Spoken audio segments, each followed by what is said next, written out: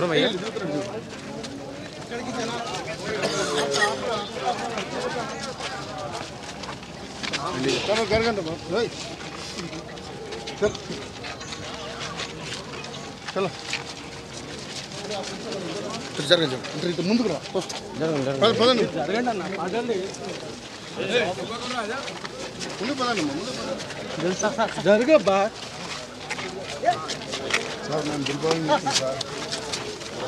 ఈ టైం నమస్తే